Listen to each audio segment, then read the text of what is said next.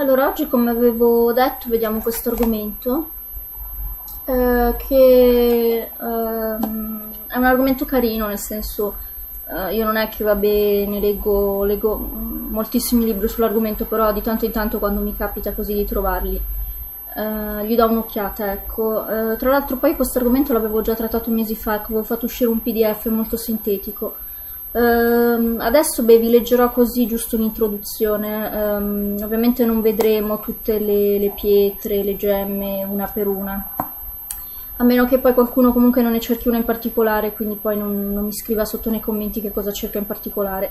Uh, vi leggerò giusto un'introduzione così storica, giusto per, dare, per sapere un po' ecco, anche su questo argomento. Intanto vi faccio vedere anche uh, il libro che ho trovato oggi, ecco, l'ho trovato proprio in offerta, ecco, offertissima. Mm tra l'altro poi, come ho detto tante volte, eh, se qualcuno cercasse comunque delle guide eh, su questo argomento, ecco, in realtà eh, se riesce a venire nella mia città può trovare tipo queste guide, le mettono tipo a un euro, 3 euro per dire. Eh, poi come vedete il, il, cioè praticamente sono libri, sono libri nuovissimi, eh quindi ecco se qualcuno in realtà non volesse perché in realtà poi questi libri qui mh, mm, se andate a comprarli nelle librerie ecco li pagate sempre un sacco perché per dire uh, se lo andate a comprare in una libreria tipo lo trovate a um, 11 euro per dire. Mentre invece se, andate, se venite a prenderlo appunto nel, nel mercatino dell'usato che c'è nella mia città tipo questi libri qui li trovate a 1 euro 3 euro quindi eh, se qualcuno fosse interessato me lo fa sapere così magari organizziamo, ecco, per dire perché credo ne, ne valga veramente la pena, eh? per dire con tipo con un euro, due euro vi fate, vi fate praticamente una biblioteca a tema su queste cose. Allora, adesso vi leggo uh, l'introduzione ecco, per quanto riguarda questo discorso delle, delle pietre preziose. Ecco. Eh, perché così è un argomento carino? Le gemme sono un prodigio della natura, hanno colori vivaci, forme stupende, luminosità, trasparenza e riescono a conservare intatto un fascino misterioso che eccita la nostra fantasia. Mentre osserviamo una gemma non possiamo dimenticare che prima di affermarsi come oggetto di desiderio, ornamento o investimento, i gioielli nascono come talismani. I nostri lontani antenati, già all'epoca della pietra, usavano le gemme come amuleti e a esse attribuivano poteri soprannaturali. Nel libro dei morti egiziano vengono citati i più antichi talismani di cui si abbia conoscenza, fra i quali si ricordano lo scettro del papiro, un prezioso amuleto costituito da uno smeraldo, che garantiva al defunto una nuova vita oltre la morte, e un amuleto del cuore di lapislazzulo, che infondeva pace e benessere a chi lo indossava. Altro talismano egizio ritrovato spesso all'interno delle mummie è quello delle due dita. L'indice e il medio scolpiti nell'ossidiana e nelle matite indicavano al defunto la via dell'ascesa e la pace eterna. L'uso dell'amuleto era molto diffuso in Egitto, ma anche presso gli antichi popoli della Mesopotamia, Sumeri, Babilonesi, Assiri e Caldei usavano incidere cristalli di, ro- di rocca, topazi, agate e diaspri come con segni magici e stemmi personali per assicurarsi la protezione divina. I persiani scolpivano figure umane in pietre dure e le indossavano come portafortuna. In Messico e in Tibet la turchese veniva considerata una pietra divina capace di mettere in comunicazione l'uomo con entità superiori. In Cina si ebbe un vero e proprio culto della giada, la cui lavorazione risale a 4.000 anni fa. Le gemme non hanno minore importanza nella tradizione ebraica e in quella cristiana. La Bibbia descrive minuzio- minuziosamente le dodici pietre sacre, cornalina, topazio, smeraldo, rubino, zaffiro, diamante, giacinto, agata, ametista, crisolito, sardonice e diaspro, incastonate nel pettorale orazionale del grande sacerdote Aaron, e nelle catacombe romane sono stati ritrovati diversi tipi di gemme incise. Secondo un'antica leggenda cristiana anche il Santo Graale era all'origine, un grosso smeraldo grezzo che cadde dalla fronte di Lucifero quando venne cacciato dal paradiso. Furono gli angeli a raccogliere la gemma e intagliarla a forma di coppa.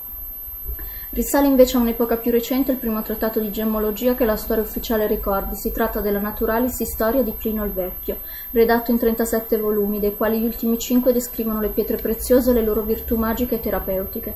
Più avanti nel tempo, nel tempo, studiosi del Medioevo quali il monaco domenicano Alberto Magno fecero importanti ricerche sull'uso dei cristalli a scopo curativo e proprio in questo periodo iniziarono a diffondersi le credenze popolari che attribuivano le gemme a poteri occulti. Tra l'altro Alberto Magno io l'ho trattato da un punto di vista teologico sull'altro canale, era mm, un misogino e poi è stato l'istruttore di Tommaso d'Aquino, di cui poi praticamente eh, ha preso tutta la misoginia che comunque era già presente in Alberto Magno. Eh.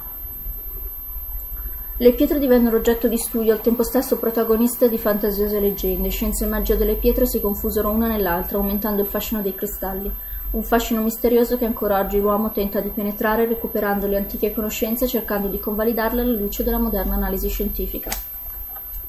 Allora niente, questo era giusto per dare una, una, un breve riassuntino storico, così per farvi vedere che comunque eh, persino nella Bibbia sono citate le pietre, ad esempio mh, è il caso proprio del pettorale del sacerdote ebraico che era tutto un pettorale che loro si mettevano qui davanti, eh, tutto ricolmo di gemme, eh, erano tutte disposte queste gemme, mh, mi pare in quattro file di tre se non ricordo male, eh, per un totale di 12 eh, se non ricordo male, eh, se, se lo mettevano qui davanti praticamente sul petto, per dire, quindi uno magari non penserebbe che addirittura nella Bibbia c'è... Mm, è attestata questo uso magico, ecco, mm, questo uso talismanico ecco, delle pietre, in realtà però è così. Uh, niente, ve l'ho letto giusto per darvi un'idea un po' così. Uh, ribadisco, poi qui ovviamente l'autrice ha messo ovviamente tutti, tutti i tipi, ecco, corallo, calcedonio, avventurina, ne faccio magari vedere qualcuna per dire. Ovviamente l'autrice li ha, li elencati tutti ecco. Vabbè ovviamente adesso noi non li vedremo nel senso se qualcuno magari interessa un nome in particolare me lo può chiedere me lo lascia sotto come commento che gli faccio volentieri la videolettura eh, altrimenti ecco l'argomento lo concludo qui. Se poi magari riesco a trovare comunque qualcos'altro ecco mh, mm, di carino ve lo leggerò senz'altro, eh, perché comunque sono argomenti che di tanto in tanto va, va bene trattare. Tra l'altro poi, questo argomento qui è stato trattato anche nel libro di Laura Ranconi, eh, che ho qui, l'ha trattato anche lei, come vedete, quindi magari ecco vi farò anche la videolettura per quanto riguarda quello che ha scritto Laura Rangoni, eh, giusto per dare un'idea. Tra l'altro, ecco, colgo occasione di dirvi, se qualcuno lo volesse questo libro qui, eh, l'ho visto in vendita oggi, eh, a un euro.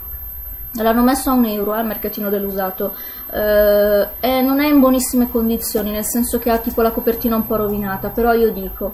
Uh, se qualcuno comunque lo volesse, come poi ho detto, questo libro qui io ve lo consigliavo, eh rimando alle vecchie videoletture che avevo fatto ecco, su, eh, di commento critico a questo libro. Se qualcuno se lo volesse, se lo volesse trovare, leggere, ecco, allora originale comunque lo pagate 7,50 euro. Se volete risparmiare, eh, al mercatino della mia città, al mercatino dei libri dell'usato, eh, lo trovate a un euro, eh, l'hanno messo in vendita a un euro, quindi se qualcuno ecco, nel, nel fine settimana può venire qui, me lo fa sapere prima, ovviamente vi accompagno io con piacere, nel senso per me anzi è un, un, modo giusto per stringere amicizia, per comunque per condividere queste cose. Se qualcuno appunto volesse eh, trovarlo a un euro, eccolo, l'ho proprio visto in vendita oggi, eh, l'hanno messo lì a un euro, quindi per dire se volete fare l'affare pensateci eh. niente vi saluto e vi ringrazio spero che i video siano stati interessanti e vi saluto alla prossima analisi